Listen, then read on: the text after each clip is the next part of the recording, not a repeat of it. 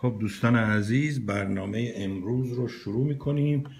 ببخشید اگر تصویر نداریم دلیلش این هست که اینجا دارن تعمیرات اساسی انجام میدن که به اصطلاح سرعت و این چیزای اینترنت و اینها همه دیگه درست بشه و ما مشکلی نداشته باشیم و ممکنه یکی دو جلسه برنامه ما اینجوری باشه بدون صدا. سعی می‌کنیم تصویرهایی از خودمون بهتر و زیباتر براتون بذاریم. تصویرهای ایران و تصویرهایی که قبلا برنامه هایی داشتیم بالاخره مصاحبه انجام دادیم با اونها. اجازه بدید که من اون برنامه زنده رو از تلویزیون مردم هم شروع کنم. بله اینجا این رو میگه و بسیار عالی. خب دوستان عزیز برنامه رو شروع می‌کنیم روی مردم تیوی دات کام و روی فیسبوک مردم تیوی. و این برنامه امروز چند دقیقه زودتر شروع شد. فقط اجازه بدین من نگاه کنم ببینم اینجا هم ضبط می‌کنه یا نه. و بیام سراغتون. اگر تصویر نداریم به بزرگی خودتون ببخشید. مطمئنم که این تصویرها قشنگتر و زیباتر از چهره های این مجریان تلویزیون ایرانی است. علل خصوص خود بنده. بذارید ببینم که روی مردم تیوی هم هستیم یا نه. دوستان اگر روی فیسبوک هستید لطف کنید. به اصطلاح ما رو با دوستانتون شیر کنید. اگر مخالف ما هستید به دوستانتون بگید بابا این سربی چی میگه؟ آیا اونها هم با شما موافقند یا نه؟ تیمی تشکیل بدید و برای خودتون صحبت های خوب کنید. اگر هم موافق من هستید خب کمک کنید دوستانتون ببینند و نظرات شما رو بفهمند که چی میگید و به اصطلاح چی فکر می‌کنید بذارید ما ببینیم این صفحه مردم تیوی روی چیز روی فیسبوک اینها واقعا هر روز عوض می‌کنن و ما رو دیگه عاجز کردن. فیسبوک جدیدن این سرویس رو عوض کرده و یه جوری دیگه باید باهاش کار کنی تا به اصطلاح با سیستم شما هماهنگ باشه. بله می‌بینید که این تصویر رو روی فیسبوک ما فقط داره روی میز رو نشون میده و ببینیم چه خواهد شد. اجازه بدید که این رو من شیر کنم با تلویزیون با به اصطلاح وبسایت با صفحه فیسبوک خودم. بله ببینیم اونجا چی میگه. friends timeline نه مال خودم. یا اون تایملاین مال خودتون. بله چشم سربی با مردم اینم می نویسیم live. تاریخ امروز هم هست 29 August 2016 و اینجا هم از USA در این برنامه پخش می‌کنیم تا ببینیم چه خواهد شد. ببینیم این چی میگه ایشون. ایونت اصلا قطع شده. ما برای کی داریم صحبت می‌کنیم؟ ایداد بیداد ایداد بیداد ایداد بیداد بذارید من این لاگ بوک رو درست کنم. بنویسیم که یک دو سه چهار پنج شیش هفت هشت نو بله. از نو شروع می‌کنیم. حالا روی فیسبوکی های کمی تحمل کنن تا بیایم با این یکی شروع می‌کنیم امروز.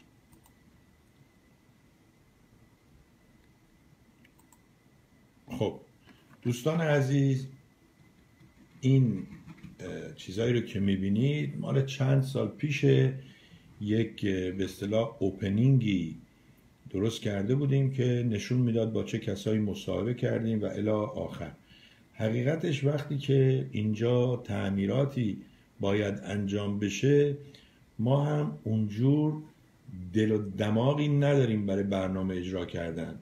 ولی خب شما رو دوست داریم معتادتون هستیم چه کنیم؟ اینجا محمد علی و بابک رو نشون می‌داد. حالا خانم شهره آسمی رو نشون میده. خانم شهره آسمی خودش تلویزیون داشت ولی الان فقط برنامه های روزنامه اینجا آقای کامران عطابکی قبلش آقای حخا ایشون آقای مختار تغییر مختار هستند که نشریه ایرانیان رو سالهای سال دارن و الاخر اسم برنامه اون موقع بوده Live with Sorbi یعنی زنده با سربی جالبه ما چون اسم خودمون رو می‌ذاریم خب دیگه کسی نمیاد بگه آقا اسم نمی‌دونم از هر دری سخنی مال من بود اسم نمی‌دونم صدای مردم مال من بود. اسم خودمون رو گذاشتیم. حالا هم گذاشتیم سوربی با مردم و خیلی ممنون و متشکریم که شما دوستان هم همیشه با ما بودید و برنامه های ما رو بهتر و به اصطلاح متنوعتر کردید. بذارید بریم به سراغ برنامه ها و براتون چیزایی رو که تهیه کردم بنویسم و بخونم. بنویسم که نه اشتباه گفتم فقط بخونم. از دوست خوبمون آقای پتیک عزیز تشکر می‌کنم که نوشته کاگو جون صبح بخیر. آدم که بیخواب میشه فکرش هزار جا میره. یک احمد علی مسعود انصاری کجاست؟ خب من یکی یکی جواب بدم. آقای پتیک عزیز یا همه رو بخونم جواب بدم. بذار یکی یکی جواب بدم. چون تو خیلی مصاحبه دیدم طرف چند تا سوال می‌کنه بعد طرف میگه که من از آخری جواب میدم. به نظر می‌رسه که فقط آخری یادش مونده. احمد علی مسعود انصاری همینجاست در آمریکاست در ویرجینیاست و اتفاقا دو هفته پیش بود که بعد از چند ماه ایشون رو دیدم و گفت که مشکلاتی داشته و گرفتاری هایی داشته و اینها. و الحمدلله همشون به خوبی برطرف شدن و به زودی با ما خواهند بود. این به زودی کی باشه من خبر ندارم. و اما نوشتن که چرا دو چرا هیچ وقت از فرهناز پهلوی خبری, خبری نیست. این را هم می‌خوان سرش زیر آب کنن تا یک نفر بمونه. ببین فرهناز شما عکسش رو ببینید تو مراسم ختم اون خواهرشون برادرشون اینها. اون خانم یا دختر شاه از مادرش قیافش پیرتر رنجورتر و نمی‌دونم خدا کنه این بند خدا هم اسیر اعتیاد نباشه. ولی به نظر می‌رسه مثل اونهایی که مشکل تغذیه دارن می‌خورن.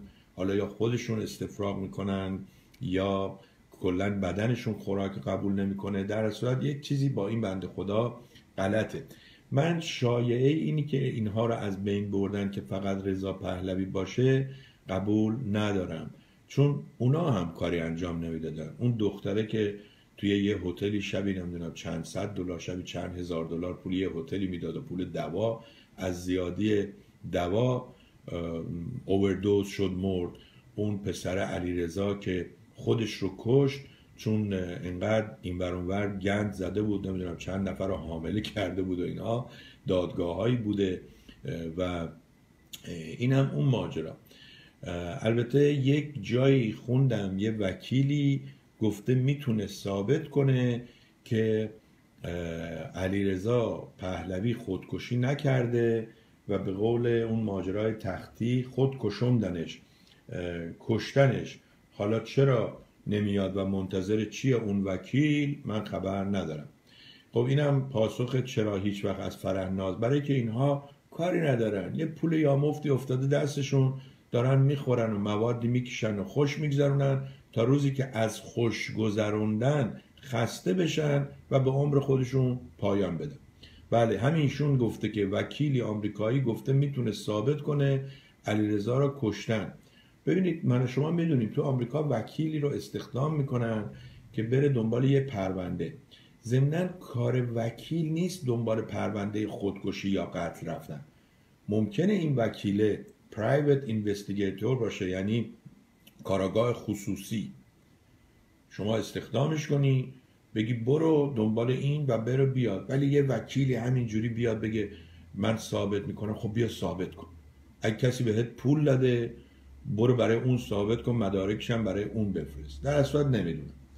میگن علی... این خیلی جالبه. میگن علیرضا شاگرد هاروارد کلمبیا و پرینستون بوده. آقا یهو بگید نابغه قرن بوده. میشه پرونده تحصیلیشو در آورد؟ علامت سوال یا ایشان هم مثل پدرش پرونده هاش برباد رفته و از بین رفته. به احتمال زیاد پرونده های اینها همشون از, با... از یاد رفته و برباد رفته پتیک عزیز. و اما علی شیرازی برای ما نوشته که تلویزیون ایران تصاویری از سامانه کامل S300 را یا 300 را در تأسیسات فردو نشان داد. این فردو رو فردو می‌خونن فردو می‌خونن فردو می‌خونن. ما نفهمیدیم. ای کاش اسمش رو یه جایی به انگلیسی بنویسن تا ما بفهمیم این چیه. این تلویزیون ایران تصاویری از سامانه این رو نشان داد. بذارید من لینکش رو نگاه کنم براتون بخونم. و امروز هم من به احتمال زیاد 45 دقیقه تا یک ساعت بیشتر برنامه نخواهم داشت. ولی کاری که می‌کنم بلا فاصله سعی می‌کنم این برنامه رو باز ریران کنم باز پخش کنم تا اونایی هم که احتمالا دیرتر به ما میپیوندن. هی نگن چی شد سوربی دزدیدنش مرد. در هر صورت. تلویزیون دولت ایران تصویر یا تلویزیون دولتی ایران تصاویر را نشان داده که گفته می شود سامانه کامل پدافندی اس 300 ساخت روسیه در اطراف تأسیسات اتمی فردو است. و با وجود همه تلاش ها برای جلوگیری از ورود آن با, وجود همه تلاش ها برای جلوگیری از ورود آن وارد ایران شده است. تازه ترین خبرها رو در کانال تلگرام دنبال کنید. بخش اینجا نوشته که پخش این تصاویر و گزارش ها همزمان است با دیدار رهبر جمهوری اسلامی ایران با فرماندهان مسئولان قرارگاه پدافند هوایی خاتم الانبیا انبیا ارتش آیت الله علی خامنه‌ای در این دیدار مخالفت با دستیابی به سامانه S300 و یا تأسیسات حفاظت شفردو را نمونه های از خباست دشمن توصیف کرده و گفته است سامانه S300 ابزاری دفاعی است نه تهاجمی است. اما آمریکایی ها تمام تلاش خود را کردند که جمهوری اسلامی از این امکان برخوردار نشود. آمریکا دوستان شما خودتون یه روزی تنها بشینید کلاتون رو قاضی کنید. ببینید چه کسایی چه رهبرای چه مملکتایی دوستان نزدیک آمریکا بودن. یا به قول معروف یار قار آمریکا بودن. شاه بود صدام حسین بود همین قذافی بدبخت بود. همه اینا رو یکی یکی به اصطلاح کله پا کردن.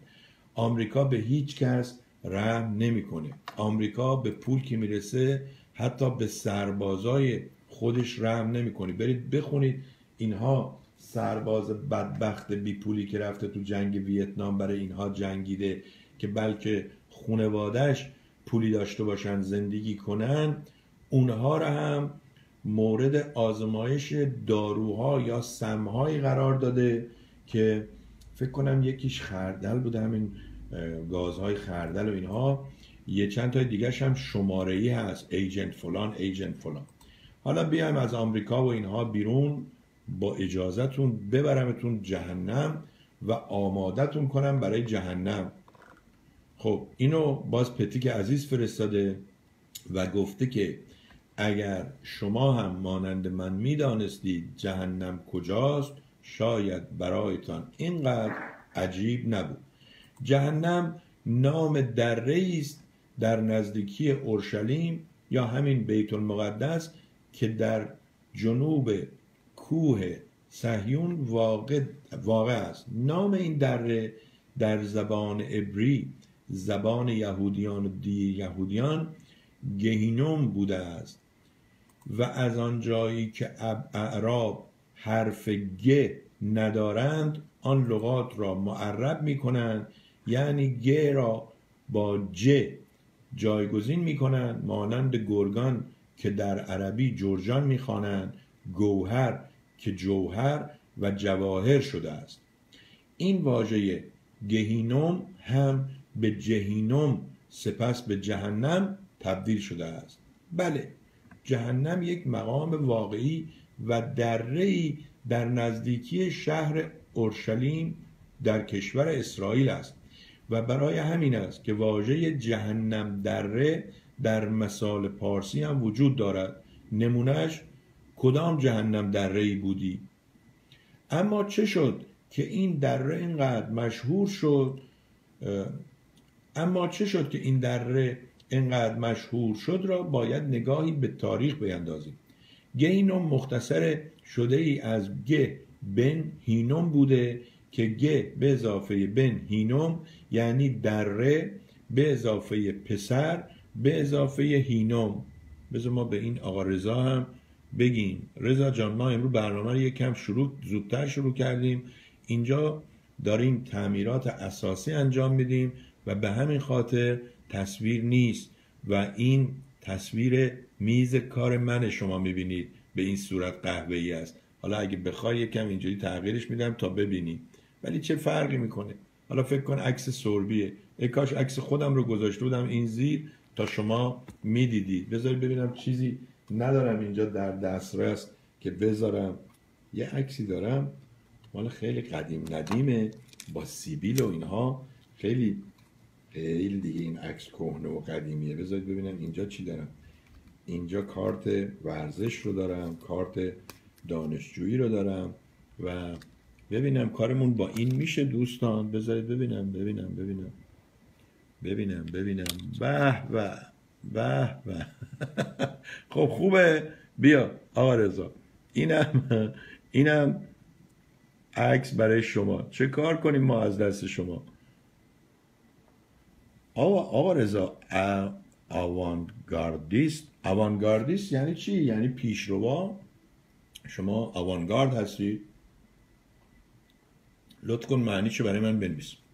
اینم تصویر. این سالیه که من از ایران آمدم بیرون. 1984 سوربی این شکلی بوده. و اما برگردیم به همون جهنم دره.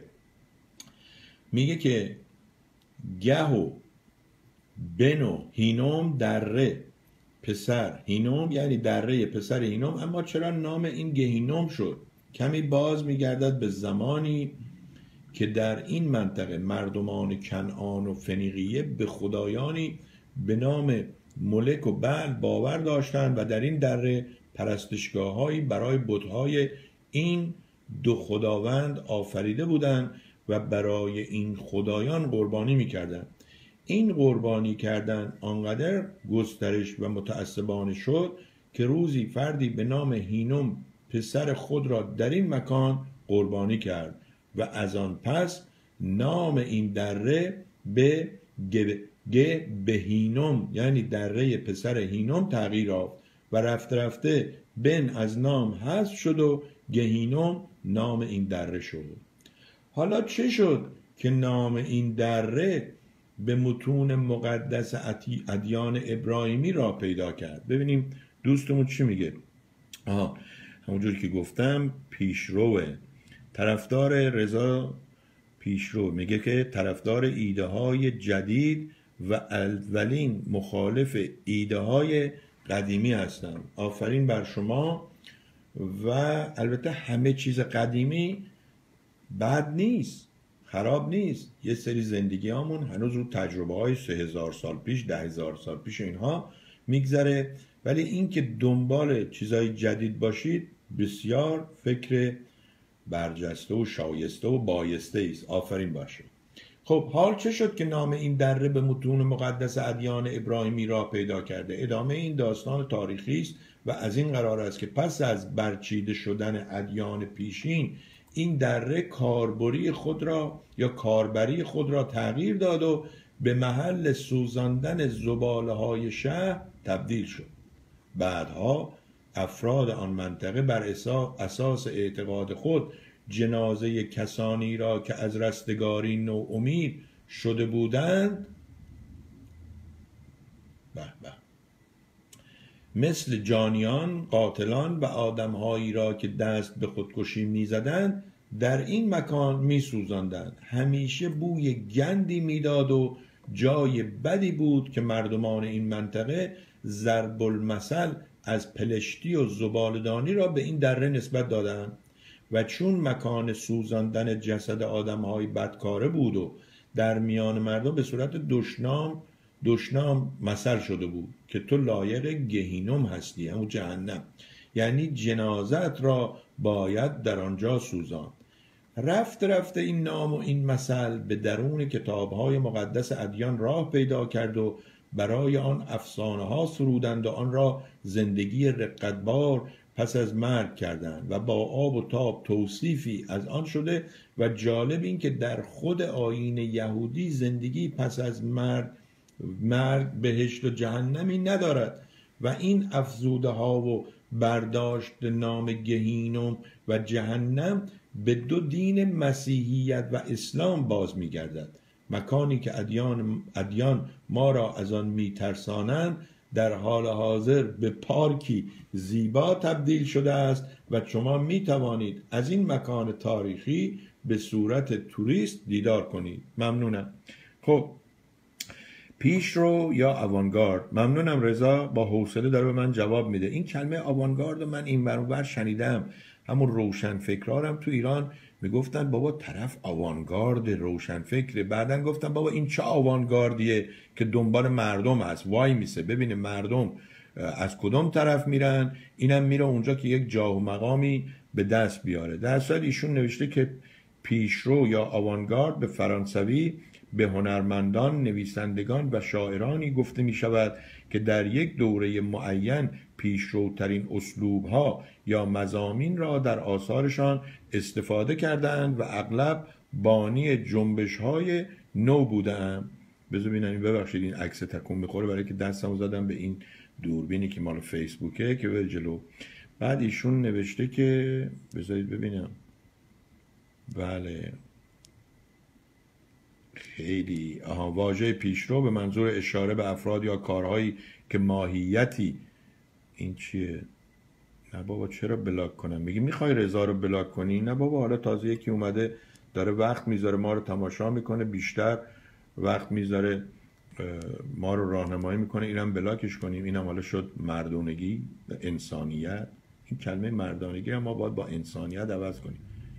چون مرد ببخشید خیلی ها دیدیم مردن ولی انسان یا آدم نیستن. پیشرو بودن بیانگر گرایشی است که هنجار هنجارهای پذیرفته در اجتماع را عموما در هیته فرهنگی به چالش می‌کشد. مفهوم وجود رضا جان اگه میشه چون اینجا می‌بینید چیهای ما همه لق و پقه اگه میشه این رو برای من با ایمیل usa نقطه سوربی at gmail.com بفرست تا روز چهارشنبه در برنامه بخونم. خیلی وضع ما امروز اینجا خرابه. خب یه دوستی ما بعد از اینکه ایشون مدتها لطف کرده بود و به تلویزیون مردم کمک می‌کرد و اینها ما گفتیم خب یه نامه تشکر ساده برای ایشون بنویسیم و برایش نوشتم که آدرس بده من می‌خوام برات یه چیزی بفرستم. ایشون گفت چیه؟ لاتاری برده می‌خوای منو شریک کنی؟ گفتم من به لاتاری اعتقاد و باور ندارم. و دلیلش هم اینه که برید دوستان بزنید توی گوگل ببینید همه اینهایی که لاتاری برنده شدن. وقتی میگم همه قدر مطلق غلطه. بیشتر یا اکثریت اینهایی که لاتاری برنده شدن اولین مشکل با فامیلشون شروع شده. دومین با دوستانی که دارن چون همه انتظار دارن و اینا انتظار اونها رو برآورده نمی‌کنن پس دوستیشون به هم می‌خوره. سومین و بزرگترین مشکل اینه که از روزی که برنده میشن هر کسی که میاد سراغ اینها اینا نمی‌دونن که حالا این واقعا از راه دوستی آمده سراغشون یا به اصطلاح به طمع پولشون. یعنی دوستیاشون هم اون موقع دیگه مشکوک میشه و این بیچاره ها در یک وضعیت خیلی بدی زندگی خواهند کرد. و اما از جهنم اورشلیم که الان شده پارکی زیبا بیارمتون بیرون و ببرمتون به طرف ایران جهنم حقیقی. حمله وحشیانه یک نماینده به یک خبرنگار در مجلس. نادر قاضی پور نماینده ارومیه امروز در راهرو مجلس با خبرنگار روزنامه ایران درگیری فیزیکی پیدا کرد. می‌دونی که تو ایران میگن در درگیری لفظی فوش فضیحت. درگیری فیزیکی و این دو نوع رو ما تا حالا می‌شناسیم. خلاصه وی همانی است که گفته بود مانند گوسفند سر 700 تا 800 اسیر عراقی را بریدن خب همینو باید نگه دارن دوستان. روزی روزگاری اگر دادگاهی شد اسیر قانون داره. کسی رو که در جنگ اسیر می‌کنن همون صدام بی پدر مادر اجازه نداشت این اسرا رو به مجاهدین بفروشه یا معامله کنه. هیچ کس اجازه نداره اسرا رو شکنجه کنن و ولی متاسفانه همه این کارو می‌کنن. و این یکی احمق گفته که من سر 700 800 اسیر عراقی رو بریدم. یعنی به خاطر همین گفته اگه یه جایی رو نوار داشته باشن رو ویدیو داشته باشن ایشون رو امیدواریم در دادگاه دادگاهایی که جنایات جنگی رو بررسی می‌کنن به سزای اعمالش برسونن. به گزارش ایسنا پس از پایان جلسه علنی امروز و در زمانی که نمایندگان در راهروهای مجلس به سوالات خبرنگاران از رسانه های, رسانه های مختلف پاسخ می‌دادند نادر قاضی پور با خبرنگار روزنامه ایران به صورت فیزیکی درگیر شد. این اتفاق در حالی رخ داد که این خبرنگار در حال, در حال مصاحبه با قاضی پور در موضوع مربوط به فرکسیون مناطق ترک نشین بود در موضوع مربوط به فراکسیون مناطق ترک نشین بود که به دلیل چالشی شدن این مصاحبه قاضی پور عصبانی شد و ضربه ای به صورت او زد که برخی از نمایندگان نیز شاهد این درگیری بودند. بعد از آن نیز قاضی پور دستگاه ضبط صوت این خبرنگار را به زور گرفته و تحویل حراست مجلس داد. توی همین آمریکا هم دوستان بعضی وقتا این درگیری پیش میاد. خبرنگارا دوربین و این میکروفون و اینا رو می‌کنن تو صورت مردم اونا رو عصبانی می‌کنن. ولی هیچ کدام از این کارها دلیلی نیست که یک نفر اجازه داشته باشه و بتونه به یک خبرنگاری حمله کنه. و به نظر من این باید از لحاظ قانونی به اصطلاح تحت تعقیب قرار بگیره و امیدواریم یه روزی ما این عکس هم آوردیم اینجا برای آقا رضا. آقا رضا گفت جوانی هم بهاری بود و بگذشت. البته به قول مولانا نصرالدین گفت جوانی اونم پخی نبود. خب امروز یه عکس خیلی قشنگ دارم که نوشته یگان مشکل بیمارستان ها لباس و هجاب پرستاران است. متاسفانه الان میگم سیستم منقاطیه نمی‌تونم نشونتون بدم. بعدا به اصطلاح این رو درباره بیمارستان های ایران هست و بعدا چیز می‌کنم. یه ویدیو یک کاریکاتور خیلی قشنگ دیگه ای هست. یادتونه این در چند روز گذشته عکس یک پسر بچه ای رو از سوریه نشون می‌دادن که تو این حملات روسیه در سوریه به طرفداری اسد به اصطلاح این بچه ها کشته شدن زخمی شدن بی خانمان شدن و حالا این کاریکاتور خیلی قشنگ بذارید به این دوستان چیز نشون بدم نمی‌دونم میشه یا دوستان فیسبوکی. آها ببینید. بله این کاریکاتور نشون میده خانم هیلری کلینتون و آقای اوباما گفته اوباما گفته do a great job. ما خیلی کارمون عالیه. بعد خانم کلینتون هم گفته our foreign policy has made the world a safer place. گفته که ما روابط و قوانین به اصطلاح امور خارجمون دنیا رو به دنیایی امتر تبدیل کرده. خب بیام باز اینجا بریم صورت سربی مظلوم رو به نشون بدیم. چقدر مظلوم بودم من. اون موقع دبیر هنرستان بودم و این عکس رو گرفتم و یادمه که ما با این عکس از ایران آمدیم و این آخرین عکسیه. این رو هم آقای اسماعیل سروستانی خبرنگار کانون خبرنگاران عکاسان فارس گرفت. هر جا هست خوب و خوش سلامت باشه. اونم آدم زحمت کشی. بود و اما جدیدترین عکس گوگوش بعد از عمل جراحی همین جوری پیش بره اول مهر باید بره مدرسه ثبت نام کنه. این ببین میگن آدما معتاد میشن به یه چیزی. ما حالا این عکس رو نشون دادیم به شما. اون عکس حالا این عکس گوگوش هم دلمون نمیاد باز باید بهتون نشون بدیم. بله این عکس خانم گوگوش هست. واقعا